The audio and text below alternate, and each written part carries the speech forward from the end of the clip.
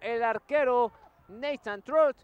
También pues en esta ocasión mostrando buena técnica Diego. Y es que pues te quería callar un poco la boca porque ya te estabas pasando de gandalla con este número 12 que aquí decide dividir el balón para alejar el peligro, aunque simplemente la regala, recupera en automático el equipo de Bermudas, a ver qué puede mostrar en esta ocasión es muy complicado, pelea bien el número 20, este Aaron Borges que viene hacia adelante trata de tocar el equipo de Bermudas, pero no pasa nada, todavía es muy complicado, aunque aquí hay una falta y los balones parados, mi Dieguito Linares puede ser también una de las llaves para el equipo de Bermudas, puede hacer algo bueno en este tipo de jugadas, el balonazo a la olla y de ahí que pueda venir un auténtico milagro con las torres que tiene como es este número 3 Butterfield y el número 18 Harris que pueden meter el balón a las redes. Pues a ver de qué forma hacen esta jugada los de Bermudas y la aprovechan de manera efectiva para su causa. Mientras tanto ya la meten a la olla como lo decías.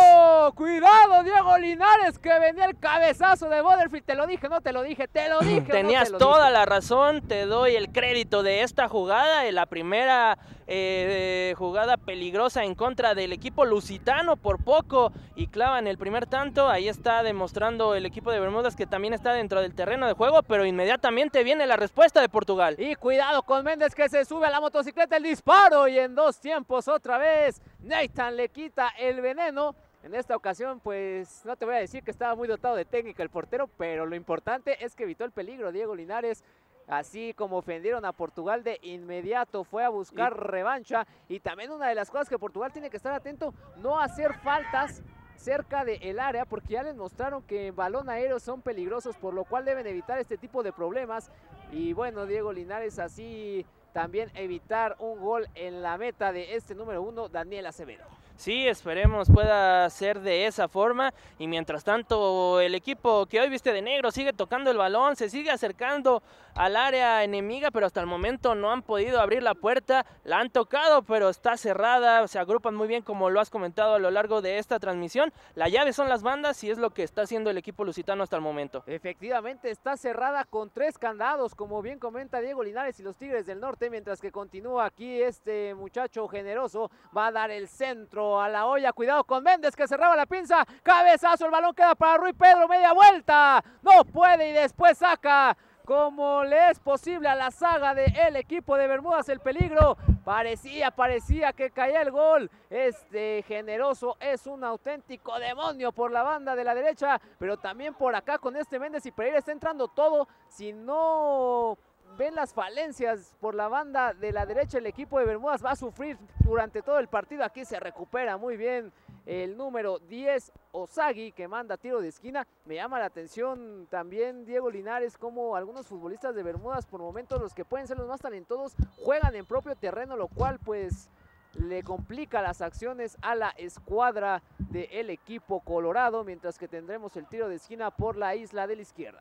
Sí, hasta el momento el equipo de Bermudas invirtiendo los papeles, le juegan al contragolpe. Cuidado que entraba solo aquí en esta oportunidad Rui Pedro. Lamentablemente no puede hacer un buen contacto de cabeza, se va por un lado. Pero ahí está el equipo portugués de nueva cuenta llamando la atención de este Nathan que estuvo a nada de ver caer su cabaña. Es cuestión de minutos, es cuestión de algunas jugadas. Me parece que Portugal, como bien lo comentaba, se está perdonando, pero también sabe que en cualquier momento puede caer el gol que inaugure el marcador. Sí, no se están precipitando en jugadas de más, saben que con esfuerzo, con trabajo en este partido va a caer el primer tanto, dado que el equipo de Bermudas divide mucho el balón y simplemente el 20 solo arriba no va a poder hacer nada. Sí, va a ser muy complicado porque eh, por momentos trata de botarse, él mismo generar sus jugadas, pero pues tiene la marca de los dos defensas centrales, tanto de Beira Goncalvo como de Bruno Paz, por lo cual es complicado. Aquí tenemos al capitán Beira que va a tocar el esférico,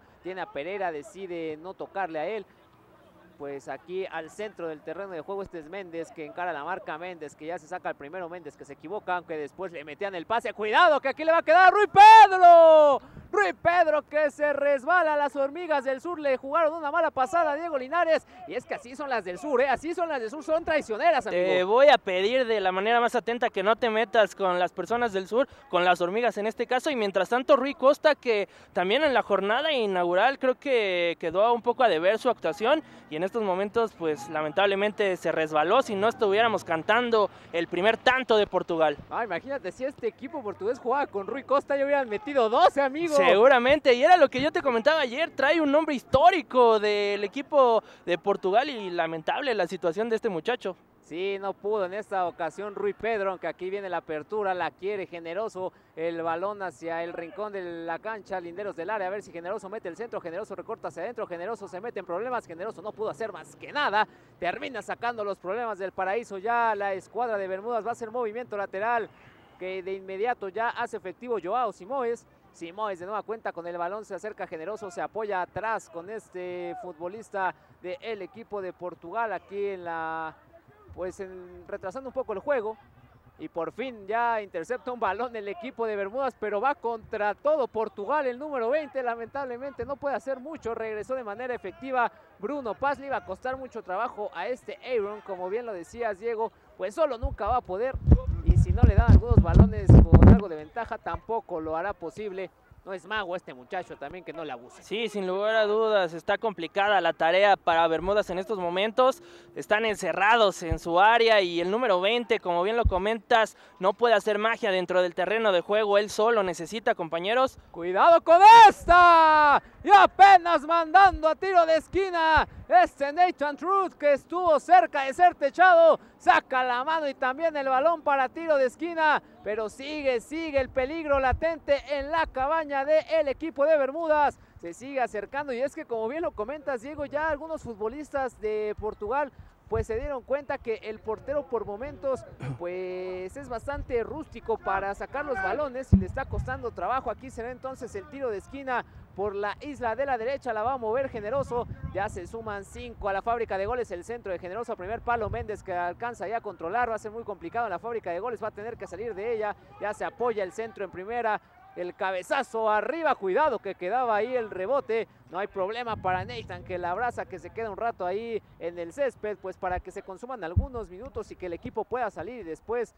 pues también a tratar de reestructurar la misma, aunque prefiere dividir, no quiere saber nada Nathan y la pone para, para Butterfield que pues simplemente atina a regalar el esférico. Sí, y esos segundos son vitales para su equipo, para darle respiro, pero debe de tener mucho cuidado en la salida porque sigue pasando eh, factura ese tipo de balones divididos y al final lo recupera Portugal. Quería generoso, otra vez no puede ya recuperar el número 7 Jorge Pereira, toca para Joao Simões que viene más atrás para el cambio de sentido a la acción ahora por el bosque de la izquierda. Muy bien Pereira para apoyarse con este número 8 Lourenco. Lourenco encuentra también la agrupación con el 17 y la apertura de juego va a ser entonces para la banda de la derecha. Trataba de encarar la marca el número 2 de Portugal.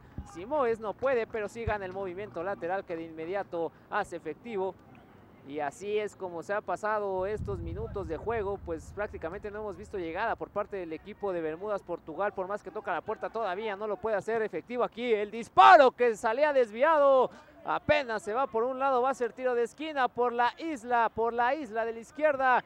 Se animó también de larga distancia este Joao Méndez, que es un jugador encarador. Aquí quiso cambiar la oración por pasiva, le jugó de otra manera al equipo de Bermudas y casi que le funciona a Diego. Sí, estamos a nada de que se pueda abrir el marcador, a tan solo una jugada, un disparo. Es momento de que los lusitanos se animen para tocar a este portero y mientras tanto, eh, pues el árbitro tiene que dar unas indicaciones, llama a dos jugadores hacia donde está el silbante y pues para dejar las cosas en claro, nada de jalones, nada que no se esté permitido dentro del terreno de juego. Sí, ya se andaban aquí pues toqueteando un poco con Calvo Vieira. y pues el árbitro ha dicho que no va a permitir este tipo de empujones. Todos están metidos prácticamente en la portería de Nathan. El rebate y Nathan la saca con la pierna de manera extraordinaria. Después de las críticas que se tuvo que comer de Diego Linares, le acaba de callar la bocota. Qué manera de Nathan y cuidado que viene Butterfield a toda velocidad. Pero el arquero jugando también de manera efectiva. Ahí está Daniel Acevedo que la va a llegar hasta los dominios de Nathan. Que pues quiere un respiro, quiere un respiro, pero qué atajadón, qué atajadón Diego Linares. Impresionante la reacción en estos momentos del portero de Bermudas que hizo muy bien las cosas en esta jugada utilizando también el recurso de, de las piernas para sacar el balón en estos momentos. Y mientras tanto pues ya está salvando y ya está siendo factor para este partido para este partido y que el equipo lusitano no abra el tanteador. Sí, qué manera de este Nathan aquí cuando ya dividía el balón de inmediato ganaba, no me parecía falta eh, del número 10 Osagi, me parecía que sacaba bien el balón este señor de las rastas, lamentablemente el árbitro Ricardo Espinosa le ha dicho que sí fue infracción y ya también le dice que por favor mantenga la boquita cerrada si no se quiere llevar una tarjeta amarilla pues ya Usagi entonces está advertido para la próxima, mientras que sigue por la parcela de la derecha el equipo de Portugal moviendo el esférico, a ver si se anima una más, se apoyan con el número 17 Jorge Pereira que tiene la apertura de juego con el capitán Goncalvo Vieira, Vieira levanta la cabeza, Vieira encuentra a Méndez y ya viene en el acompañamiento, trataba de ir hacia adelante Méndez, lamentablemente pues le interceptan el balón, pero así como lo perdió, lo recuperó este Méndez que hizo labor de sacrificio, este también el número 5 Pereira tiene el apoyo con el número 17, su tocayo de apellido Jorge Pereira, que mueve los hilos en este momento de Portugal. Ya la pide por la banda de la derecha. Simoes, Simoes a encarar la marca, no puede, tiene que retrasar el juego. Y así es como están transcurriendo estos últimos minutos que estamos viviendo de este partido. No puede todavía el equipo de Portugal generoso que toca de primero. Va a meter el centro a la fábrica de goles bastante elevado. No llevaba nada.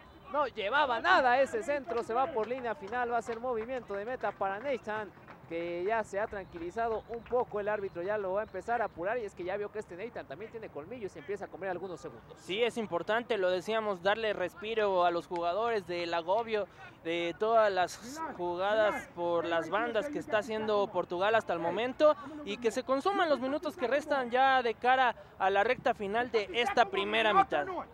Bien el trazo dividido para el equipo de Bermudas y casi que se llevaba el balón Diego Linares, ya andaba cayendo acá por la posición de, en donde nos encontramos. Ya, ya me lo iba a gandallar, ya sabes, ¿no? Siempre Para un la souvenir, casa. siempre un souvenir no es malo, amigo. Sí, sin lugar a dudas, y estos balones que pues, la verdad están presentables, muy bonitos para este torneo y mientras tanto el cambio de juego que no llegó a ningún lado va a ser eh, balón en favor del equipo de rojo y más segundos para tener respiro en esta primera mitad hasta el momento pues aguantando estoicamente el equipo de Bermudas. Sí, aunque también Portugal me parece que ya ha bajado un poco el ritmo de en estos momentos de partido. No se deben desesperar, intentan con pelotazos en estos momentos.